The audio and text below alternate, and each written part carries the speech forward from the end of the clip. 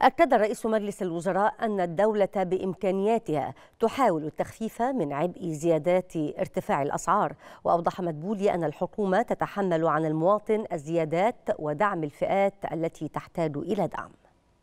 بالتأكيد إحنا عارفين كويس قوي ونعي إن هناك ارتفاع في الأسعار. ولكن الدولة المصرية بتحاول بقدر إمكانياتها وقدراتها المادية والقدرات اللوجستية إن إحنا نخفف من عبء هذه الزيادات عن المواطن المصري. وحدي لحضراتكم على سبيل المثال يعني إحنا يمكن التضخم إحنا عم نتابع الأرقام طبعا وبنشوف الزيادات اللي بتحصل.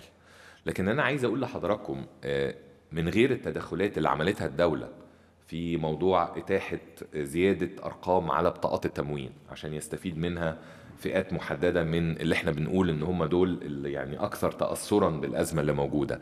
من خيل من من غير الإجراءات اللي اتعملت لزيادة المرتبات وزيادة الحد الأدنى والأهم عدم زيادة أسعار المرافق الرئيسية في خلال الفترة دي سواء الكهرباء أو حتى بعض الحاجات الأخرى اللي إحنا يعني أوقفنا الزيادات بتاعتها واعلنا إن إحنا مش مش هنزودها لغاية 30 6 لولا هذه الإجراءات كانت الأسعار ممكن كانت تروح في حتت تانية خالص زي ما بيحصل في كل الدول اللي أنتوا حضراتكم أكيد بتتابعوها.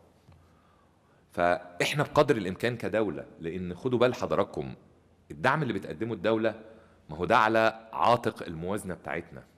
وعلى عاتق قدراتنا المالية. ويمكن أنا اتكلمت مع حضراتكم في هذا الموضوع أكثر من مرة وقلنا وقلنا عشان برضو ما نقدرش إن إحنا نتحمل أكثر من اللي إحنا حاطينه في إطار الموازنة.